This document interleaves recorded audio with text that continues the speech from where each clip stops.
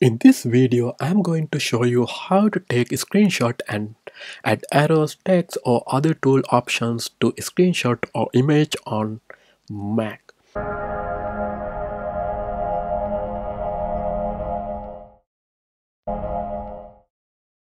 Hi and welcome back to my YouTube channel. So my mission is Sinha TV Media so you and I can grow together.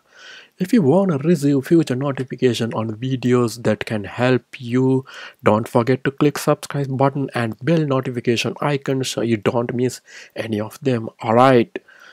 The purpose of this tutorial, if someone wondering about how to add arrows, text or other tool options to screenshots and photos on Mac, you will find solutions after watching this video.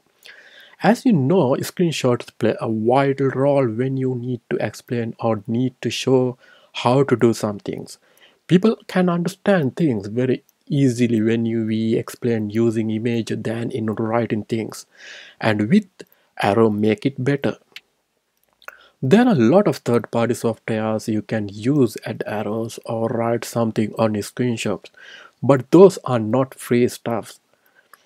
From this tutorial, I'm going to show you how to add arrows, text, other, other tools, options to screenshot and photos on the Mac without using any third-party software and it comes with Mac's Preview app. This is very simple and here is how to do it.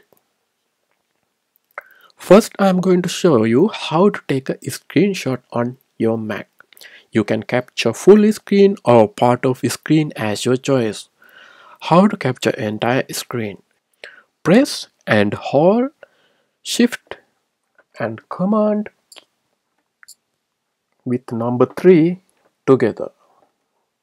And now if you want to take portion of screenshot, press and hold shift command and number 4 and now I'm going to show you how to add arrows or text on a screenshot. Right. Let's see how to do it. First of all open a screenshot with preview app. Normally when you open the screenshots it's open with preview app. Let's open the screenshot. Right. Here I have opened one of my screenshots. Now you can see there are few tabs on top. So click tools first and now beneath the menu bar scroll down and click the annotation menu with various options right. You can see there are many options. Right. Now select the arrow option. Right. And if you want to uh, add some text or polygon star line oval rectangle you can do so. Right. Here is here i'm going to show you how to add arrow first. Now click on this arrow. Right. Here you can see the arrow is placed over the image. Now you can drag the point to make it longer or you can turn it and if you want to bend you can do so like this. And you can change the direction like this or you can change the location. If you want to change the color you can go the here and you can change the color like this. Or if you want to change the thickness you can do so.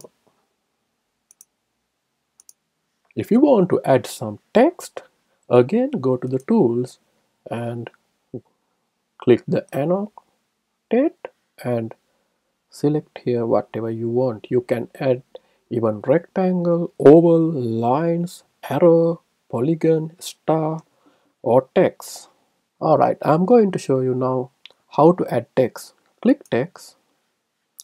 There you can see text box. Right. Now you can add some text here and if you want to change the color highlight it and go to here and click here and change the color like this and one thing guys when you finish your task don't forget to click on file on the top bar and save it right so guys i think it is excellent time to uh, remind you if you want to future content that can help you Sinha TV Media offering tips, tricks, and tutorials to help people to do things by themselves. You can click that subscribe button and ring that bell so you don't miss future videos. I hope you found this video helpful. Let me know with comment sections below if you have any questions. Until next video, see you. Take care. Bye bye.